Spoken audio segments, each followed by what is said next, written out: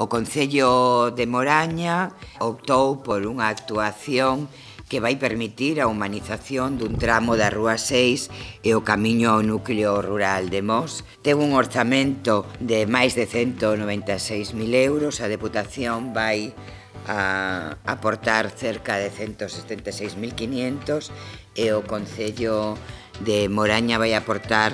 eh, máis de 19.500 euros. A través desta actuación, que a Deputación vai financiar a través de o REACPON, vaise conseguir unha mellor e máis eficiente emprego do espazo urbano e tamén algo que é fundamental,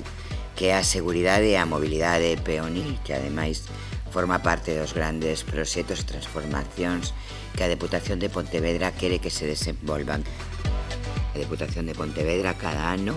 aproba proxectos extraordinarios para que os concellos poidan levar a cabo grandes proxectos. De feito, Moraña recibiu co plan eh, de reequilibrio outro dos nosos proxectos extraordinarios máis de 711.000 euros para o novo centro sociocultural no edificio da antigua Praza de Abastos tamén co plan Ágora 100.000 euros para a reforma da rúa de Arcebispo Lago e agora recibe eh, estes recursos para esta humanización de estas vías que teño comentado.